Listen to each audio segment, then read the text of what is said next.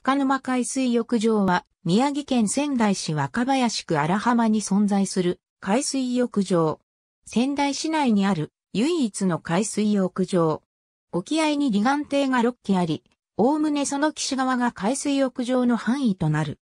以前は荒浜の集落と黒松林を抜けた先に広がる風光明媚な海水浴場であったが、東日本大震災により被災し周囲の様子は一変。2011年から2017年まで閉鎖された。2016年、仙台市は海水浴場再開へ向けて海岸、海中の調査や緊急時の避難先等の検討を開始。2017年には2日間限定で開場することが決定したが、台風の影響もあり開場をすることはなかった。2018年は7月28日から4日間に限り1日600人限定で再開を決定。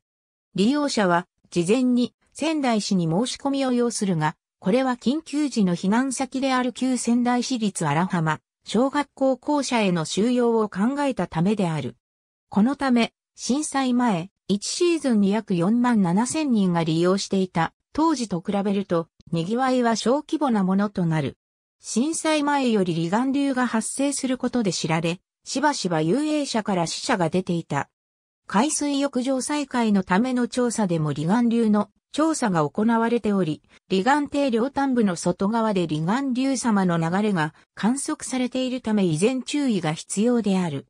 宮城県道10号塩釜渡り線と宮城県道137号荒浜原町線の荒浜交差点の東方約800メートル。